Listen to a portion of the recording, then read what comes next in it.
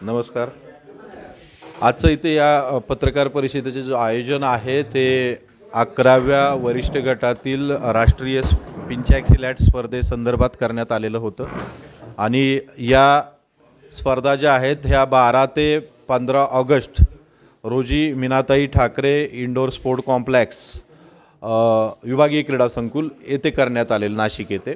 आणि या स्पर्धेमध्ये पूर्ण भारतातून अठ्ठावीस राज्य आठ केंद्रशासित प्रदेश all India police C I S F I T B P B S F अशा वेगवेगळ्या फोर्सेस आणि इतर राज्य संघ संघांचे संघ असे नऊशे खेळाडू इथे सहभागी होणार आहेत.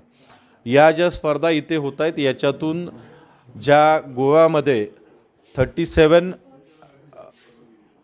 ज्या नॅशनल गेम राष्ट्रकुल ज्या स्पर्धा होणार आहेत त्या स्पर्धेसाठी प्रत्येक गटातील टॉप सोळा खेळाडूंची निवड करण्यात येणार आहे.